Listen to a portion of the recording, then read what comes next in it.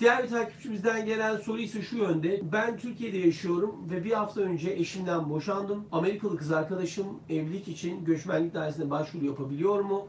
Ben daha bir hafta eşimden boşandığım için Amerikalı kız arkadaşımın başvuru yapması sorun olur mu? Nasıl bir yol izlemek gereklidir diye bu takipçimiz soruyor. Buradaki önemli olan durum şu.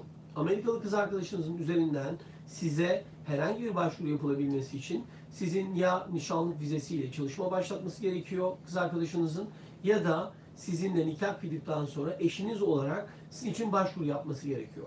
Dolayısıyla sizin e, tabii ki e, Türkiye'de daha bir haftadır boşanmış olma durumunuzda önemli olan nokta eğer evlilik yapacaksınız kız arkadaşınızla bu evliliği yapacağınız yerde evlenmenize bir engel var mı yok mu onu belirlemek. Bu neyi kastettiğimi de şöyle söyleyeyim.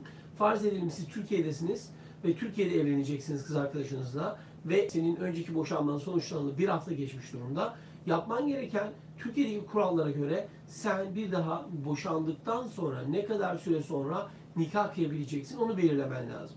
Önemli olan nikah kıydığın ülkede ya da yerdeki kurallara uygun bir şekilde nikah yapıyor olmanız. Bir engel yoksa o zaman hiçbir problem yok. Ne zaman boşandığının bir önemi yok. Siz nikah kıyar kıymaz eşiniz sizin adınıza göçmenlik dairesine başvuru yapıp sizin yeşil kart dosyanız için çalışmaları başlatabiliyor.